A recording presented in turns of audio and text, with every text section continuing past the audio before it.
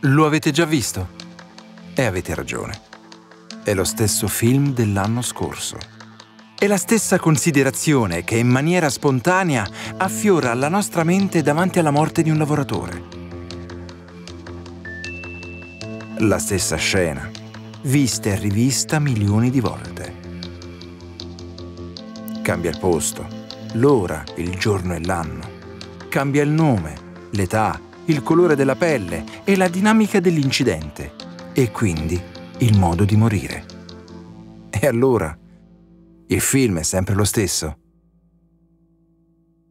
Schiantati al suolo, schiacciati da un carico, folgorati, asfissiati in un cunicolo contenitore, investiti o schiacciati da una macchina.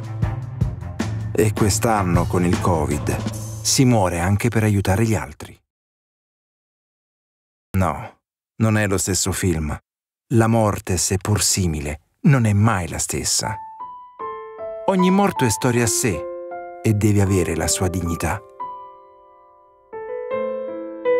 Ciò che accade dovrebbe insegnare. Ciò che accade dovrebbe educare affinché non succeda più.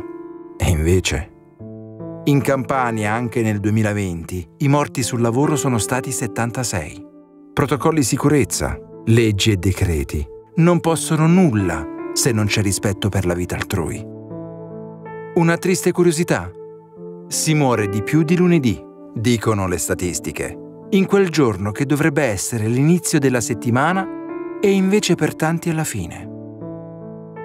Quante vite spezzate, quanti sogni, speranze e felicità infrante. Il mondo ci chiede cambiamento, ma il mondo non cambia se non cambiamo noi.